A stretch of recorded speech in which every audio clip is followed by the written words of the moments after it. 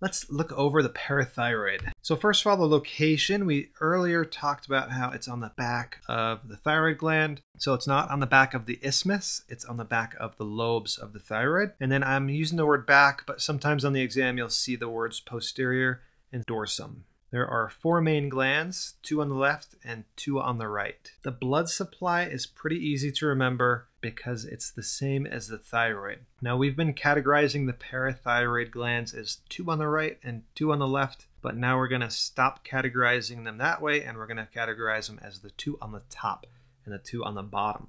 And so the two on the top are going to be supplied by the superior thyroid artery. And remember, that's the first branch off of the external carotid artery. And then the two inferior parathyroid glands are going to be supplied by the inferior thyroid artery, which is a branch off of the thyrocervical trunk.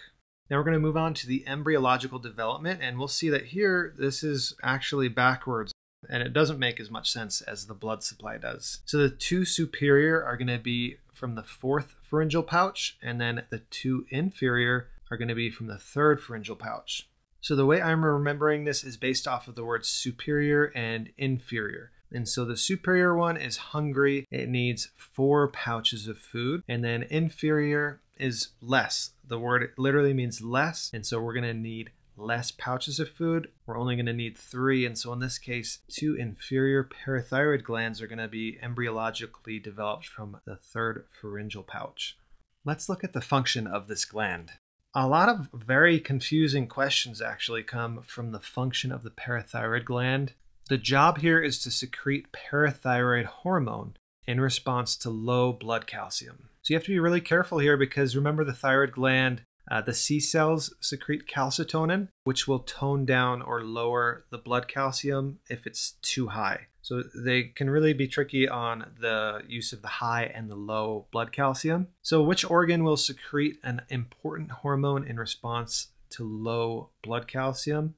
And so even though calcitonin will result in low blood calcium, don't pick the thyroid gland. It's going to be the parathyroid gland. So calcitonin, remember it tones down blood calcium. It does not get secreted in response to low blood calcium. And so it gets secreted in response to high blood calcium so that it can tone down high blood calcium.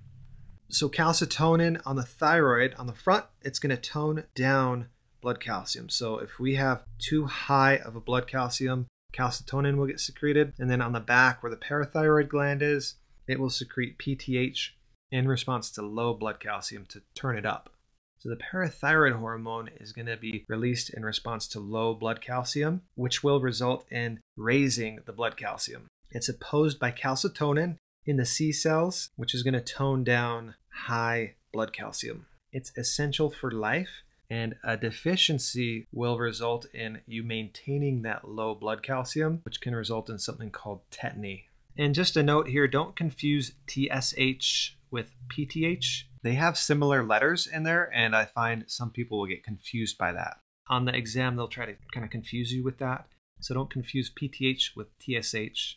And remember, thyroid stimulating hormone is a component of colloid.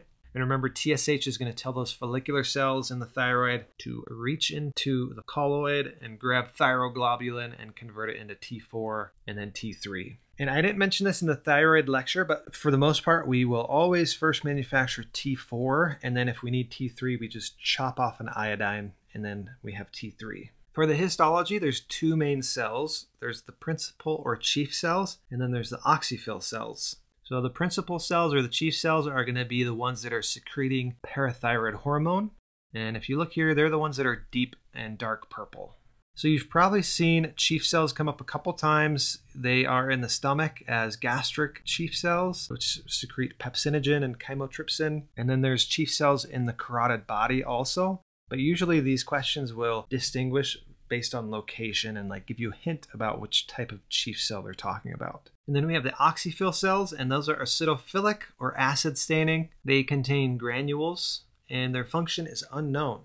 And so I've seen them literally test on the function of oxyphil cells, and you just have to know that the function is unknown. And so the way I remember this is I think of a guy named Phil. He's got an ox, and when people ask him why he has an ox, he's just like, uh, I don't know. I don't know why I have an ox. And so oxyphil cells, they have an unknown function. All right, so we're at the fact card or the flashcard. Make sure that you can go through this and understand all these little bullet points. And then I do have some questions for you to answer on the next couple slides. Thanks for sticking with me through the video, everybody, and I'll see you in the next one. Let me know what your main takeaway was by commenting down below. Don't forget to subscribe and hit the bell. And if you found any value in this video, I know that my full course would be way more valuable to you. Please consider clicking the link on the bottom right and subscribing to my full course.